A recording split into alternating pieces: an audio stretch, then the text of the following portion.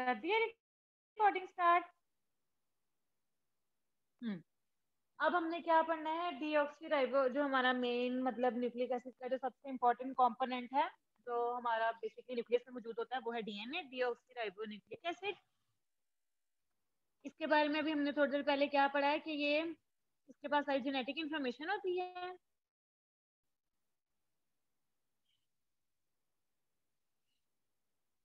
Genetic information सारी इसके पास होती है और इस, ये क्या करता है? लिविंग ऑर्गेनिज्म की केमिकल और फ़िज़िकल प्रॉपर्टीज़ को कंट्रोल करता है।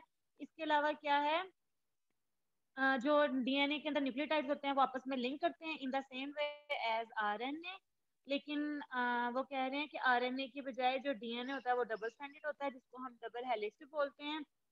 और जिसमें शुगर होती है, वो डीऑक्सीराइबोज होती है, जो मैंने आप लोगों को ये बात बताई है कि यहाँ पर खाली हाइड्रोजन होता है, यहाँ पर भी हाइड्रोजन होता है ऑक्सीजन मिस होती है, जिसकी वजह से हम उसको डी ऑक्सीराइबोज बोल रहे हैं, यानी ऑक्सीजन उसमें से माइनस है। और इसके अलावा हमने क्या पढ़ा है कि डीएनए के अंदर पीरीमिडीन में थाइमिन होती है यूरासिल नहीं होती है यूरासिल आरएनए के अंदर होती है। ये डिफरेंस हम ऑलरेडी टेबल में भी डिस्कस कर चुके हैं। अगर अब इसके स्ट्रक्चर की बात की जाए ना तो मैं इसके स्ट्रक्चर को आप लोगों को पहले बता देती हूँ। कि जो थे, जिन्होंने 1953 में इसको पेश किया था और उन्होंने इसकी स्ट्रक्चर की एक्सरे क्रिस्टेलोग्राफी की थी। ठीक है? एक्सरे क्रिस्टेलोग्राफी का मतलब ये है कि एक्सरे एनालिसिस के थ्रू उन्होंने इसके स्ट्रक्चर को डिटरमिन किया था। आवाज़ ठीक आ रही है? कम तो नहीं आ रही है आप लोगों को? अब मैं थोड़ा ऊँची बोल रही हूँ ताकि आप लोगों को क्लियर आवाज़ आए। जी मैम, ठीक आ रही है, बिल्कुल क्लियर आ रही है। 1963 में वॉटसन एंड क्रिक ने इनके मॉडल को डिस्कवर किया था और जो मॉडल उन्होंने बनाया था ना, यानी हमें नहीं पता था डीएनए या कैसे दिखता है। कि जब इन दोनों ने काम किया ना एक्सरे के थ्रू स्ट्रक्चर एनालिसिस किया तो पता चला और उन्होंने एक हाइपोथेसाइज एक डायग्राम बनाई जिससे पता चला कि डीएनए का स्ट्रक्चर तो ऐसा होता है। तो उसका स्ट्रक्चर बेसिकली ये है। अब मैं पहले आपको इसके स्ट्रक्चर को यहीं से बता देती हूँ, फिर हम थेरी पढ़ लेंगे। कि दो स्ट्रैंड हैं, एक ये है, ठीक है? और एक ये वाला स्ट्रैंड है। ये दोनों आपस में क्या हुए हैं? रैप हुए हैं। एक होगा फाइव टाइम से फाइव डैश से थ्री डैश ये वाला किधर जाके एंड हो रहा है? ये। यहाँ पर एंड हो रहा है थ्री डैश और दूसरे वाला जो है वो थ्री डैश से फाइव डैश होगा। ठीक है? दोनों ऑपोजिट होंगे। एंटी पैरेलल है। यानी अगर एक इस तरह जा रहा है ना तो दूसरा इस तरह जा रहा होगा। तभी वो ऑपोजिट है ना एक दूसरे के। अच्छा। अब उन्होंने कॉयल किया हुआ है कॉयल करने के दौरान इनके दरमियान में जो ये मौजूद है ना, ये बेसिकली बेसिस मौजूद है। जिसमें मैंने आप लोगों को बताया कि एडेनिन पेयर करेगी थाइमिन के साथ गुआनिन पेयर करेगी साइटोसिन के साथ। ठीक है? तो अब ये जो बेसिस है ना, यानी जो नाइट्रोजनस बेसिस है, ये सेंटर में मौजूद होंगी और इनके जो इर्द गिर्द जो बाकी पोर्शन है ना, यानी जो उनका पोर्शन है, यानी इसके बेसिस मौजूद है। बेसिस के साथ राइबोस शुगर और फॉस्फोरिक एसिड भी तो है ना तो वो इधर कॉर्नर पे मौजूद होंगे। इस तरह करके स्ट्रक्चर बना होगा उनका। ठीक है? और यहाँ पर फॉस्फोर अटैच होगा नाइट्रोजनस बेसिस ये ऐसे अटैच नहीं ठीक है? यानी सॉरी ये थोड़ा सा गलत बन गया हाँ। और ये फॉस्फेट इधर इसके साथ अटैच होगा और ये नाइट्रोजनस बेसिस है। तो फॉस्फेट जो है वो इन लेयर्स के साथ अटैच होगा और हम ये कहते हैं कि फॉस्फेट बैकबोन बनाते हैं। ठीक है? यानी ये जो दो स्टैंड होते हैं ना, ये जब आपस में रैप किए होते हैं तो इनकी इनकी जो बैकबोन होती है ना, वो फॉस्फेट की से मिलकर बनी होती है, क्योंकि फॉस्फेट कॉर्नर पे मौजूद होता है और सेंटर पे नाइट्रोजनस बेसिस मौजूद होती हैं, जिन्होंने आपस में क्या की होती है बॉन्डिंग की होती है, जिसकी वजह से वो सारी कॉइलिंग एग्जिस्ट करती है। अब जो एक कॉयल है ना, वो इधर से लेकर इधर तक को हम कह रहे हैं कि ये एक कॉयल है, ठीक है? यानी इसको हम कह रहे हैं ये वन टर्न है। टर्न भी बोल सकते हैं कॉयल भी बोल सकते हैं। यहाँ से लेकर यहाँ तक हो गया दूसरा टर्न और यहाँ से लेकर यहाँ तक हो गया तीसरा टर्न ठीक है? और तीसरे के बाद ये चौथा टर्न आ गया, ठीक हो गया? एक टर्न बोल सकते हैं ये कॉयल बोल सकते हैं। तो एक टर्न के अंदर तकरीबन टेन बेस पेयर एग्जिस्ट करेंगे, यानी एक, दो, तीन, चार, पाँच छ सात, आठ, नौ, दस। यानी टेन बेसिस जो है ना, वो उन्होंने पेज बनाए होंगे और एक टर्न से दूसरे टर्न के दरमियान में दो तरह की चीज़ें एग्जिस्ट कर सकती ग्रूव्स होते हैं। ग्रूव्स का मतलब है, आप लोगों ने पढ़ा होगा मतलब ग्रूव का मतलब होता है कि कहीं पर भी कोई गहरी चीज़ हो ना, कोई डीप हो तो उसको हम बोलते हैं कि वो ग्रूव वहाँ पर बना हुआ है। तो दो तरह के ग्रुप एग्जिस्ट करते हैं। एक मेजर ग्रुप होता है, एक माइनर ग्रुप होता है। मेजर ग्रुप का मतलब ये है कि जब एक टर्न से दूसरे टर्न का फासला ज़्यादा होगा ना, देखो अभी इसका कितना टर्न वाइड है। इसको बोलेंगे कि ये मेजर ग्रुप है? और जब टर्न छोटा होगा ना जैसे अब इसमें छोटा सा टर्न है, इसको हम बोलेंगे माइनर ग्रुप अब ये फिर मेजर ग्रुप हो गया ये माइनर ग्रुप हो गया। ये मेजर ग्रुप हो गया ये माइनर ग्रुप हो गया। ठीक हो क्या यानी जब एक टर्न से दूसरे टर्न के दरमियान में गैप ज़्यादा होगा ना उसको मेजर ग्रुप बोलेंगे। जब कम होगा उसको बोलेंगे माइनर ये भी मेजर मेजर हो गया ये माइनर यहाँ पर हो गया। ये इधर से देखो कितना वाइड है ये। ये मेजर हो गया और ये माइनर हो गया। ठीक है? तो उन्होंने इधर मेजर और माइनर ग्रुप्स बनाए हुए हैं। और जो आ, एक टर्न में जो मतलब दस मौजूद है, फिर अगले टर्न में है तो जो उनका जो आपस में गैप है ना, वो है थ्री पॉइंट फोर नैनोमीटर का। ठीक हो गया? यानी एक टर्न से दूसरे टर्न के गैप का थ्री पॉइंट फोर नैनोमीटर है, और अगर इंडिविजुअली इनको देखा जाए तो three point four divided by ten अगर हम इसको करें, क्योंकि टेन पेयर मौजूद है ना तो वो एक एक पेड़ का दूसरे पेयर से फासला, यानी एक पेड़ का दूसरे पेड़ से फासला पॉइंट थ्री फोर नैनोमीटर हो जाएगा।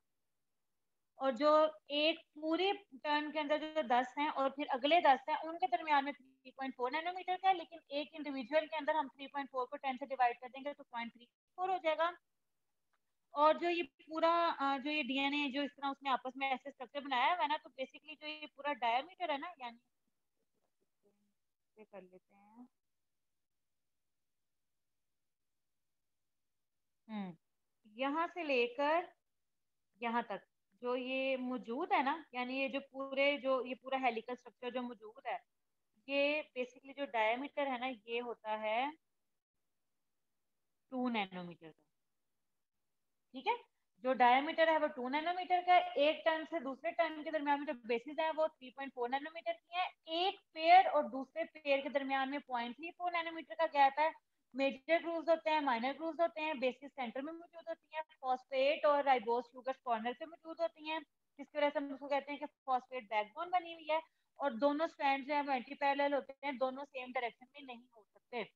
दोनों अलग अलग डायरेक्शन में मूव कर रहे होंगे ताकि उनको स्टेबिलिटी रहे। ठीक हो गया?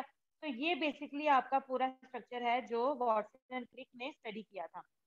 अब जो इनकी थेरी है ना, उसमें सेम यही लिखी हुई हैं बातें। ये एंटी पैरेलल होते हैं इसके अलावा आपस में उन्होंने रैपिंग की होती है bound around around each other ठीक हो गया? इसके अलावा क्या है? एक प्यूरिन बेस कंबाइन करेगी, एक पिरीमिडीन करेगी, यानी एक अगर साइटोसिन होगी तो इधर की गुआनिन होगी, अगर यहाँ की थाइमिन होगी तो यहाँ की एडिनिन होगी, ठीक हो गया? थ्री पॉइंट फोर नैनोमीटर का इंटरवल है। उसके बाद उन्होंने क्या लिखा हुआ है कि टेन बेस पेयर हर हेलिक्स में मौजूद है। मैंने आपको कुछ ज़्यादा बातें बताई हैं, इसमें थोड़ी सी उन्होंने कम लिखी हुई है, लेकिन आप रिकॉर्डेड लेक्चर में वो रिकॉर्ड हो गई हैं, आप जब सुनो मेरे डायमीटर दोनों स्ट्रैंड का टू नैनोमीटर का मेजर ग्रुप्स बनते हैं माइनर ग्रुप्स बनते हैं, जो मैंने आप लोगों को बता दिए हैं। अब इसका बायोलॉजिकल रोल ऑफ़ क्या है डीएनए का, अगर हम उसकी बात करें तो बायोलॉजिकल रोल में इसके पास सारी इंफॉर्मेशन होती है हेरिडेटरी इंफॉर्मेशन होती है, जो एक जनरेशन से दूसरी जनरेशन में पास ऑन होती है। जेनेटिक इंफॉर्मेशन सारी होती है कोड्स की फॉर्म में होती है। इसके अलावा डीएनए जो है, वो रेप्लिकेट कर सकता है रेप्लिकेट करेगा तो ऑब्वियसली वैसी सेम उसकी कॉपी बन जाएगी। और इसके अलावा क्या लिखा हुआ है कि ट्रांसक्रिप्शन का प्रोसेस के बाद ये क्या प्रोड्यूस कर देता है? एमआरएनए प्रोड्यूस करता है और एमआरएनए के बाद फिर एक ट्रांसक्रिप्शन का प्रोसेस होता है जिससे प्रोटीन्स बनती है। तो बेसिकली ये जो डीएनए है, ये स्टोर है सारी हमारी जेनेटिक इंफॉर्मेशन का। यहाँ पर आपका न्यूक्लिक एसिड का कोर्स कह रही हूँ टॉपिक जो है फिनिश हो गया है। अब यहाँ तक अगर किसी को कोई सवाल है तो वो बच्चा मेरे से पूछ ले, फिर हमने आगे हॉर्मोन्स का टॉपिक भी पढ़ना है। क्योंकि अभी टाइम है, हमारे पास अभी फाइव फिफ्टी थ्री हुए हैं। हारमोन्स का टॉपिक जो है वो साथ ही स्टार्ट कर देती हूँ। अभी अगर आप लोगों के पास, अगर आप, बच्चे रिकॉर्डिंग स्टॉप कर दो ज़रा। तो अब आप रिकॉर्डिंग स्टार्ट कर दो। नेक्स्ट टॉपिक है आपका हॉर्मोन्स का। तो हॉर्मोन्स के बारे में हमने ऑलरेडी भी थोड़ा सा पढ़ा था प्रीवियस टॉपिक्स में भी। अभी भी हम उसको डिटेल में पढ़ेंगे। हॉर्मोन्स क्या होते हैं? हॉर्मोन्स आपकी बॉडी में इस तरह के केमिकल सब्सटेंसेस होते हैं जो कि आपकी बॉडी की होम्योस्टेसिस को कंट्रोल करते हैं। होम्योस्टेसिस होता है कि आपकी बॉडी मैम आवाज़ बहुत स्लो आ रही है आपकी। एक सेकंड एक सेकंड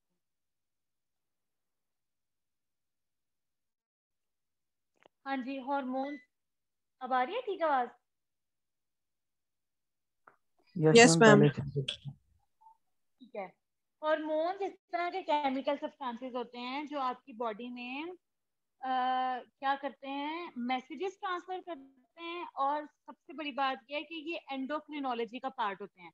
एंडोक्रिनोलॉजी का मतलब ये है कि एक हार्मोन या कोई भी एक सिग्नलिंग मॉलिक्यूल एक जगह पे रिलीज़ होगा। रिलीज़ होने के बाद वो पूरी ब्लड वेसल के थ्रू ट्रेवल करेगा और ट्रेवल करने के बाद यहाँ पर आपका मौजूद होगा टारगेट तो ये यहाँ पर आके एक्ट करेगा। यानी इसके अंदर क्या एबिलिटी होती है कि ये ऐसा सब्सटेंस होता है जो कि मूव कर सकता है। और मूव करता हुआ जो है ना, ये एक जगह से प्रोड्यूस होकर दूसरी लोकेशन पर पहुँचता है। ठीक हो गया? इस तरह की चीज़ को हम क्या बोलते हैं? यानी हम इस तरह के सब्सटेंस सब्सटेंस को बोलते हैं कि ये क्या होता है? हॉर्मोन्स होते हैं।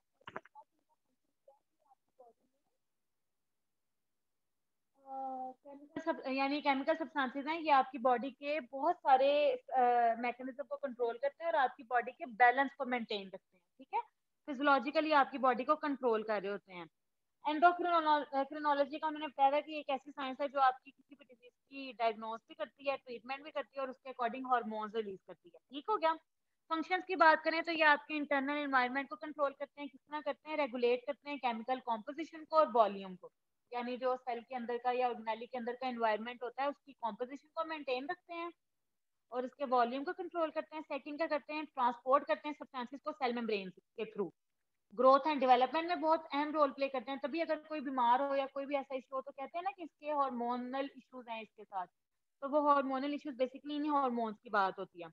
इसके अलावा जो आपकी जो बहुत बेसिक प्रोसेसेस हैं हम ह्यूमन बींग्स के reproduction fertilization nourishment of the embryo और डिलीवरी ऑफ़ न्यू बॉर्न इसमें भी हार्मोन्स का बहुत ज़्यादा बेसिक रोल है और पांचवी चीज़ क्या है कि आपकी बॉडी को रेगुलेट करते हैं और एनर्जी बैलेंस करते हैं बॉडी में। आवाज़ ठीक आ रही है? सबको? यस मैम यस मैम बिल्कुल ठीक आ रही है।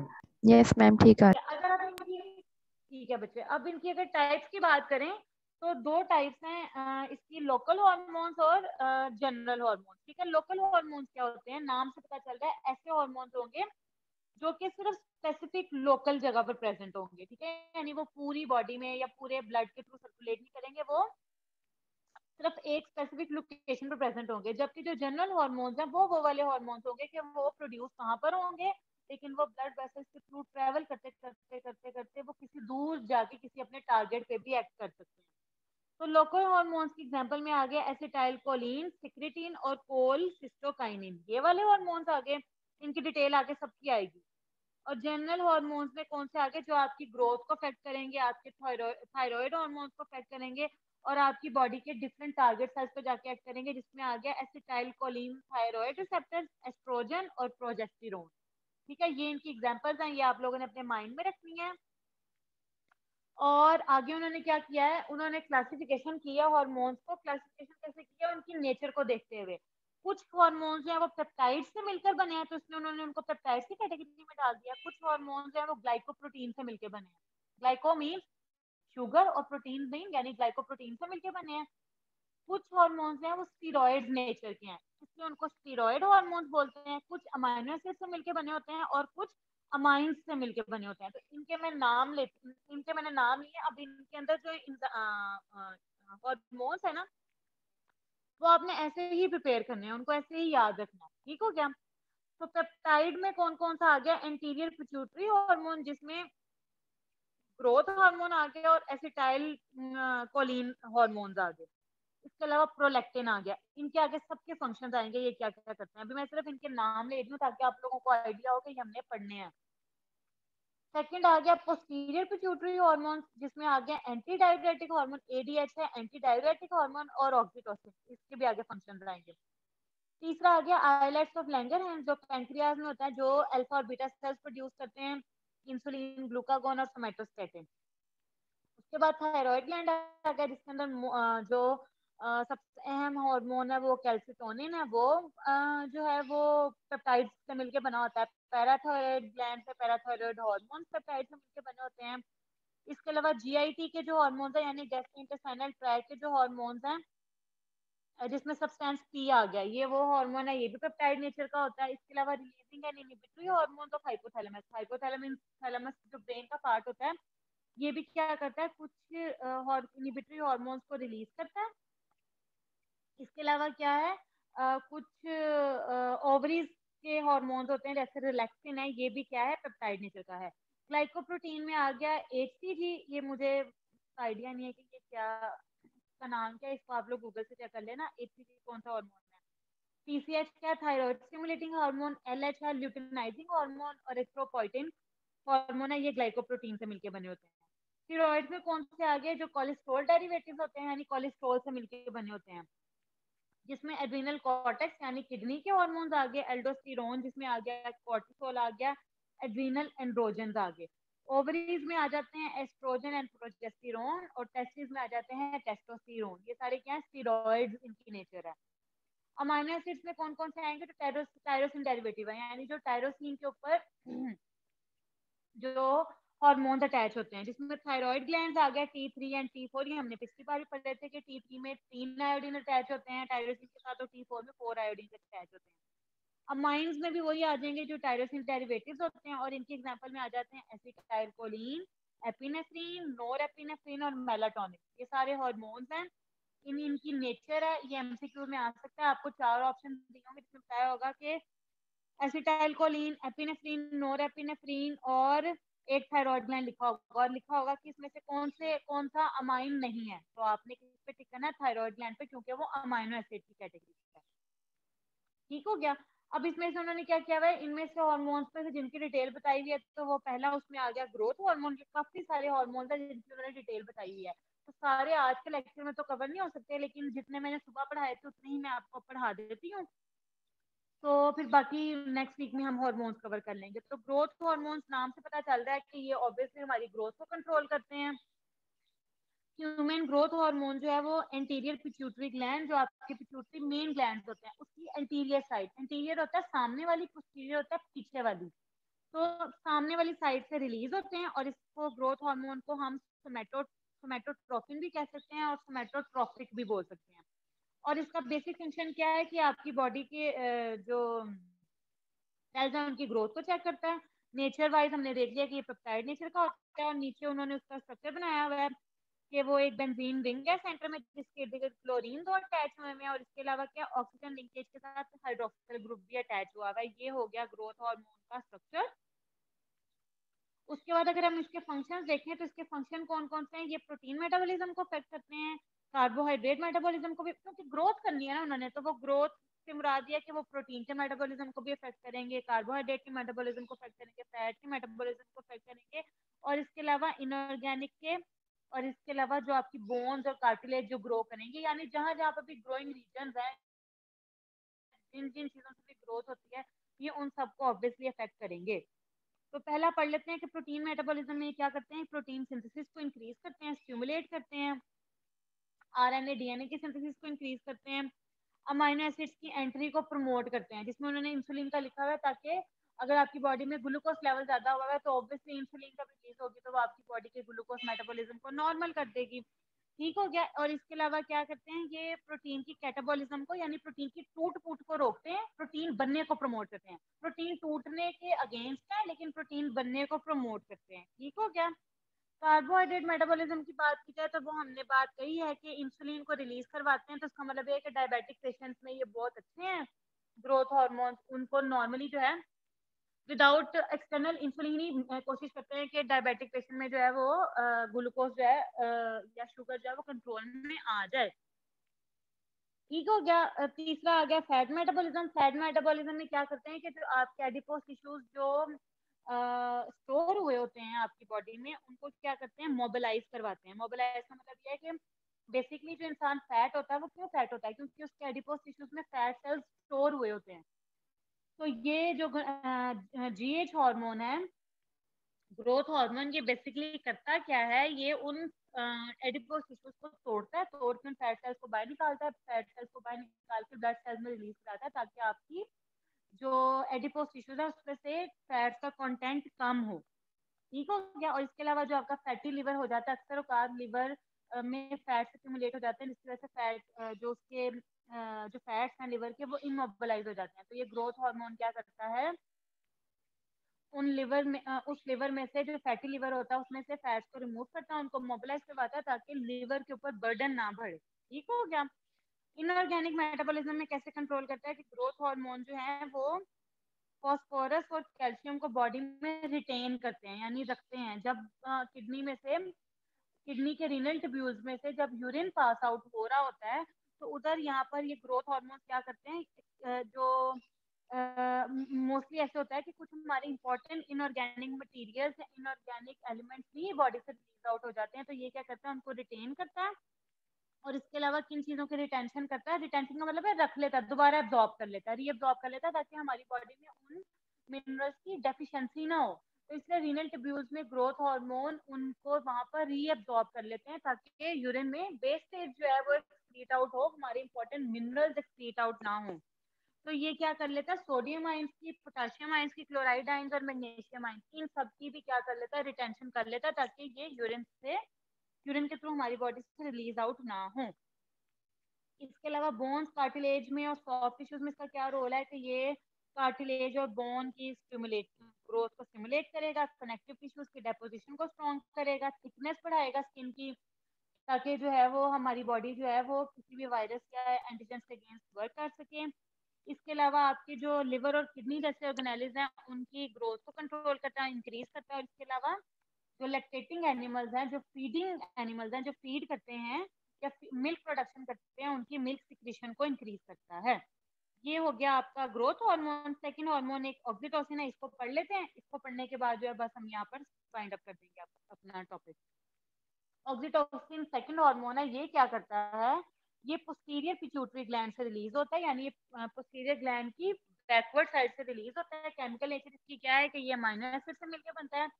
एक्शन की बात की जाए तो ये जो फीमेल जो प्रेग्नेंट फीमेल होती हैं, उनकी यूट्रस चेक करता है, उनके अंदर मिल्क इंजेक्शन करवाता है after deliver delivering of the baby इसके अलावा क्या करता है मिल्क इंजेक्शन को स्टिमुलेट करेगा फर्टिलाइजेशन के दौरान में हेल्प करेगा, यानी ड्यूरिंग डिलीवरी हेल्प करेगा ब्लड वेसल्स की स्ट्रेंथनिंग में हेल्प करेगा और पिट्यूटरी ग्लैंड को अफेक्ट करता है। इसके अलावा क्या करता है, इसकी कुछ क्लिनिकली इंडिकेशंस भी हैं।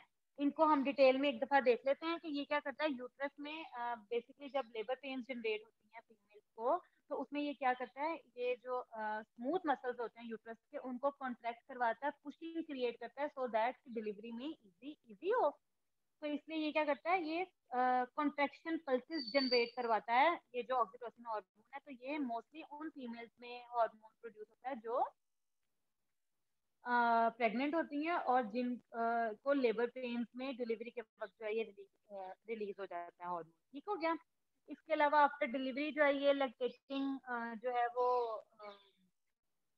मिल्क प्रोडक्शन करेगा ताकि जो है वो बेबी फीडिंग हो सके और इसके अलावा ये हार्मोन तभी रिलीज़ होता है जब बेबी को मदर जो है वो बेबी को हैंडल कर रही होती है। ऑब्वियसली जब बेबी जो है आप, मदर को पता चलता है कि बेबी को भूख लगी है, इस तरह से है तो फिर उस वक्त में भी ये जो ऑक्सीटोसिन हार्मोन है, ये रिलीज़ हो जाता है और अपना काम करता है। इसके अलावा क्या है कि वो मैंने आपको बता दिया कि फर्टिलाइजेशन में कैसे हेल्प करता है कि ये यूटराइन कंट्रैक्शन प्रोड्यूस कर देता है। यूटराइन कंट्रैक्शन से क्या होगा कि वो जो सेमिनल फ्लूड है, वो रिलीज़ होगा फ्लैपियन ट्यूब से, जिससे फर्टिलाइजेशन में फेवरिंग होगी और क्या होगा बर्थ में आसानी होगी। इसके अलावा क्या करता है, ये वेजोडाइलेशन करवाता है। वेजोडाइलेशन का मतलब ये कि वेसल्स को डायलेट करता है और ब्लड प्रेशर को भी डिक्रीज करता है।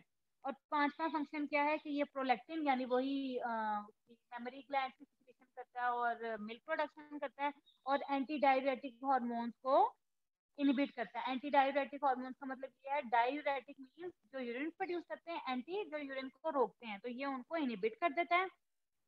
और इसके अलावा क्या है, उनकी इंडिकेशन में क्या है कि वो तो मैं, मैंने आप लोगों को बता दिया कि लेबर पेन जनरेट करता है और इसके अलावा यूटराइन हेमरेज करता है। यूटराइन हेमरेज होगी तो ऑब्वियसली डिलीवरी होगी ना। तो इस तरह से इसका ऑक्सीटोसिन का रोल है। यहाँ पर हम इसको फिनिश कर देते हैं अपने टॉपिक को। इंसुलिन नेक्स्ट टॉपिक है सॉरी नेक्स्ट हार्मोन है। इसको हम नेक्स्ट क्लास से, यानी नेक्स्ट सैटरडे से हम इसको डिस्कस करेंगे।